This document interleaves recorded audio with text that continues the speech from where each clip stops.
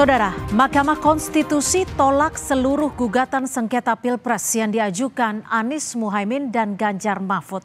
Apakah atas keputusan ini semua capres akan menerima keputusan ini?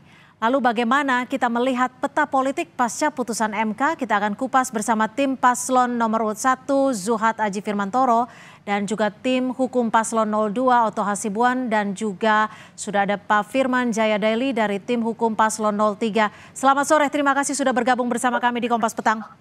Selamat sore, Pak Cynthia. Mas Zuhad langsung saja, bagaimana tim dari 01 menanggapi putusan MK yang menolak semua permohonan? Baik, pertama sekali tentu kita akan menghormati segala keputusan Mahkamah Konstitusi. Meski demikian, kita tetap memiliki banyak catatan atas putusan-putusan ini. Sebagai sebuah negara hukum, tentu apa yang sudah diputuskan melalui Mahkamah Konstitusi ini. Halo, halo. Ya, silakan, Mas Zuhad. Iya, saya Jadi sebagai sebuah negara hukum, bagaimana yang sudah dituliskan dalam konstitusi kita, hmm. Hmm. tentu kita menghormati betul putusan um, Mahkamah Konstitusi apa pun bentuknya. Meski demikian, kita tetap memiliki banyak catatan atas putusan yang tadi sudah dibacakan oleh Mahkamah Konstitusi gitu.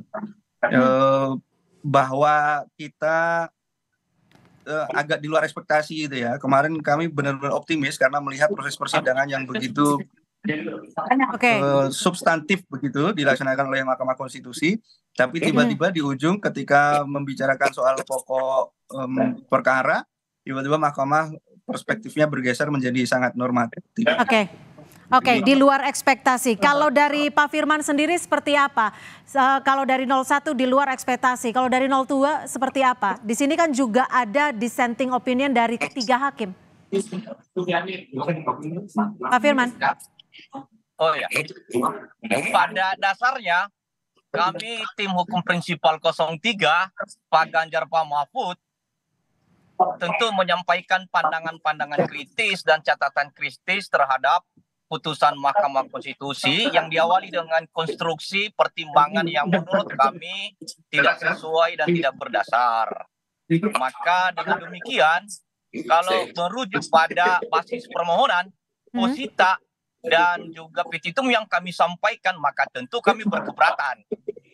Tetapi karena ini jika, eh, Mahkamah Konstitusi sebagai mahkamah yang memiliki hak dan kewenangan konstitusional untuk memeriksa dan memutus hasil pemilihan umum, maka tentu itu kami mencatat secara administratif hukum.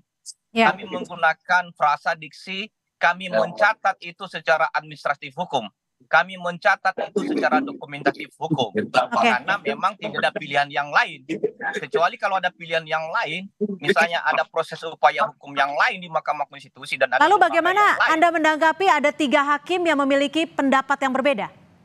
Ya, yang kami tanggapi dulu secara formal institusional MK ya.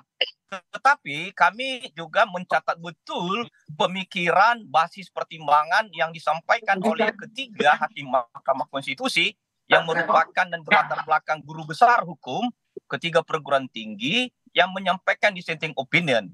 Dan hmm. terus terang memang basis pemikiran kemudian juga materi pertimbangan yang disampaikan dengan segala konstruksi yang disampaikan tadi sungguh-sungguh telah menempatkan dan memaknai Mahkamah Konstitusi merujuk pada tiga payung besar bahwa Mahkamah Konstitusi adalah lembaga dan badan peradilan tertinggi yang memang memaknai dan harus menjaga dan melindungi konstitusi.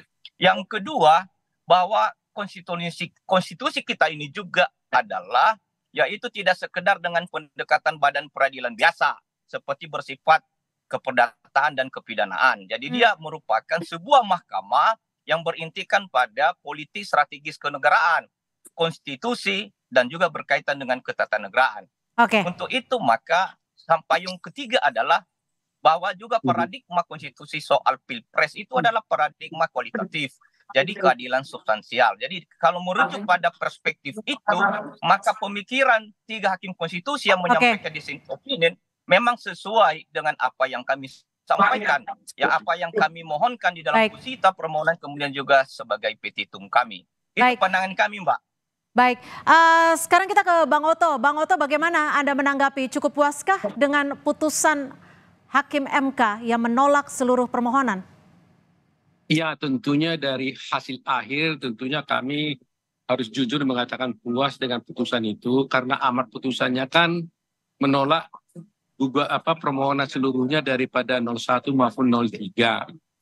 Nah, cuma satu hal yang menjadi catatan kita bahwa dari awal kan sebenarnya kami kan mendalilkan bahwa Mahkamah Konstitusi tidak berwenang karena adanya undang-undang pemilu yang mengatur bahwa kalau mengenai soal TSM itu harus diperiksa oleh Bawaslu. Ya, Nah, sekarang ada putusan Mahkamah Konstitusi sekarang ini sudah memperbarui semua fa- faktor itu. Jadi sekarang Mahkamah Konstitusi menyatakan bahwa ternyata Mahkamah Konstitusi berwenang sepanjang ya karena sepanjang maka Ba- Bawaslu eh, apa tidak melakukan tugasnya secara optimal. Itu Hmm. tadi pertimbangan daripada Mahkamah Konstitusi itu. Mhm. Nah, berarti sekarang ini dalam perkara ini berarti Mahkamah Konstitusi telah memeriksa perkara ini secara substantif sesuai dengan keinginan daripada 01 maupun 03. Nah, kemudian ternyata setelah dipenuhi permintaan 01 03 untuk memeriksa secara substantif, ternyata Mahkamah Konstitusi menyatakan bahwa pelanggaran-pelanggaran yang di, di- dituduhkan kepada 02 itu tidak terbukti. Itu itu makna daripada putusan tadi itu. Oke, semua- Bang Oto, lalu bagaimana Anda menanggapi perbedaan pendapat dari Hakim Saldi Isra, Hakim Erni, dan juga Hakim Arief Hidayat? Ya, saya terus terang aja melihat perbedaan pendapat itu kan wajar ya, tapi saya saya, saya hanya menyayangkan bahwa uh, dissenting opinion tersebut yang disampaikan itu tidak menganalisis secara substantif kenapa mereka berbeda. Hanya disampaikan di sana bahwa uh, sesungguhnya mereka harus melihat secara substantif, tapi sesungguhnya kan sebenarnya yang yang lima hakim itu sudah substantif gitu loh. Hmm. Jadi saya melihat bahwa mungkin kalau saya melihat tiga hakim ingin ingin ingin mendapatkan perbaikan lebih jauh lagi ya di, di masa depan ya di masa akan datang agar pemilih pemilu ini akan dilakukan lebih baik lagi. Nah, Oke. satu hal yang yang tidak disampaikan yang menjadi perhatian kita adalah selama ini kan kita kan terakhir ini kan agak rame soal amicus curiae kan. Ya, Ternyata oleh hakim sama sekali dinyatakan bahwa mereka membaca amicus curiae itu tapi sama sekali tidak dipertimbangkan apa pun. Hmm. Nah, jadi berarti apa yang dilakukan oleh para amici-amici tersebut yang begitu banyak sama sekali satu pun tidak dipertimbangkan oleh Mahkamah Konstitusi. oke. Jadi ini menjadi catatan kita juga di kemudian hari. Oke, baik. Eh, sebelum kita lanjutkan eh, dialog, saya akan mencoba menampilkan tanggapan dari Hakim Arief Hidayat terkait perbedaan pendapat yang sempat ia utarakan dalam sidang sengketa Pilpres 2024. Sejak pemilu presiden dan wakil presiden tahun 2004, 2009, 2014, dan 2019 tak pernah ditemukan pemerintahan yang turut campur dan cawe-cawe dalam pemilihan presiden dan wakil presiden. Akan tetapi pada pemilihan presiden dan wakil presiden tahun 2024 terjadi hiruk pikuk dan kegaduhan yang disebabkan secara terang-terangan Presiden dan aparaturnya bersifat tidak netral, bahkan mendukung pasangan calon presiden tertentu. Apa yang dilakukan Presiden seolah-olah mencoba menyuburkan spirit politik dinasti yang dibungkus oleh virus nepotisme sempit yang berpotensi mengancam tata nilai demokrasi ke depan. Mas Zuhad, bagaimana Anda menanggapi eh, pandangan yang berbeda dari Hakim Konstitusi eh, Harif Hidayat ini yang menyebutkan bahwa ada klausul yang menyuburkan politik dinasti? Iya kan memang sejak awal sudah kita sampaikan dalam dalil permohonan kita itu Mbak tentang tidak netralnya lembaga kepresidenan. Jadi saya pertama apresiasi juga terkait dengan apa yang disampaikan oleh Bang Oto tadi ya bahwa memang pada bab kewenangan MK itu eh, memilih untuk menjaga konstitusi secara substantif betul itu.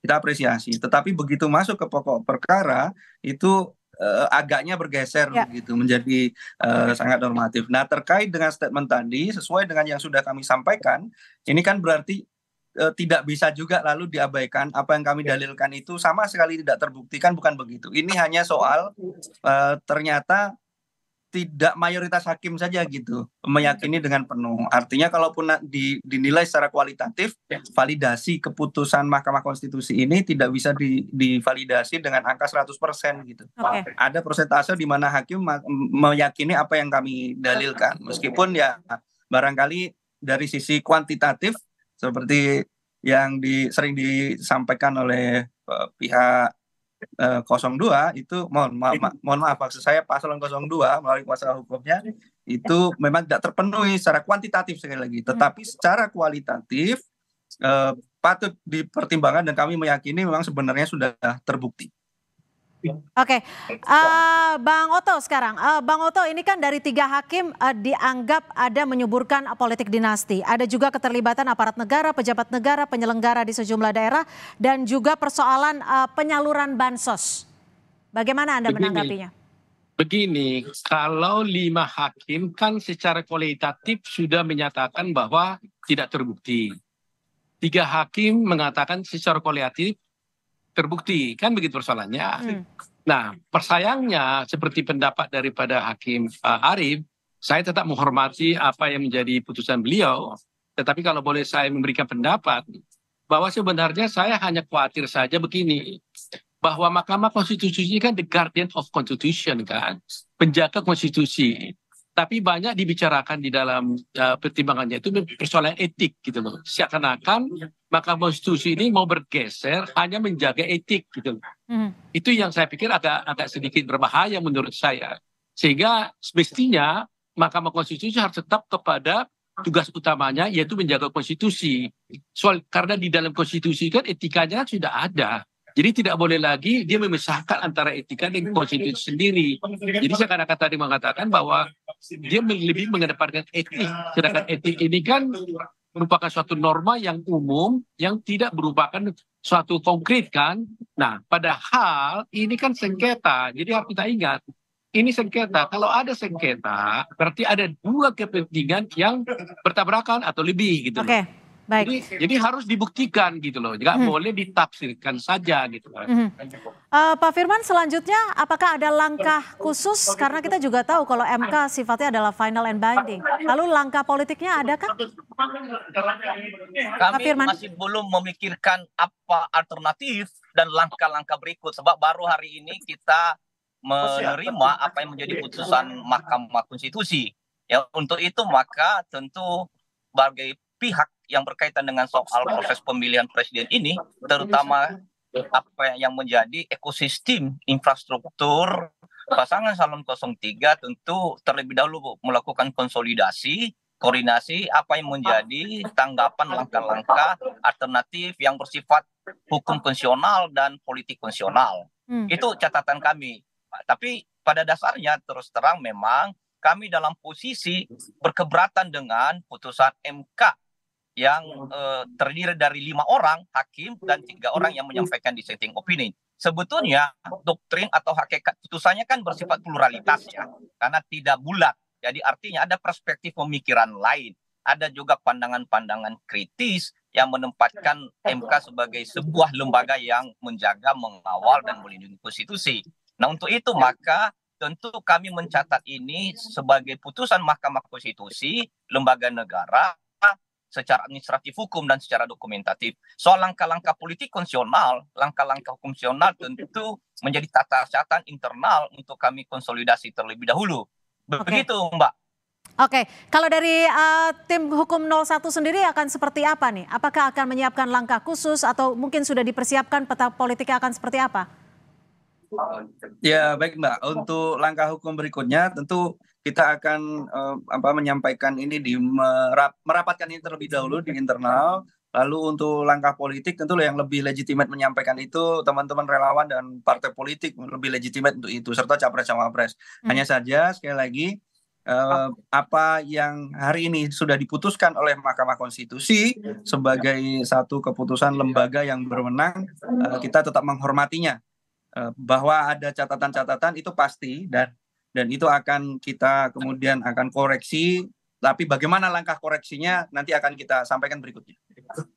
Baik, terima kasih Mas Zuhad Aji Firmantoro, tim hukum dari 01, Bang Oto Hasibuan, terima kasih juga Pak Firman Jaideli sudah bergabung bersama kami di Kompas Petang. Terima kasih atas perspektif Anda. Selamat sore.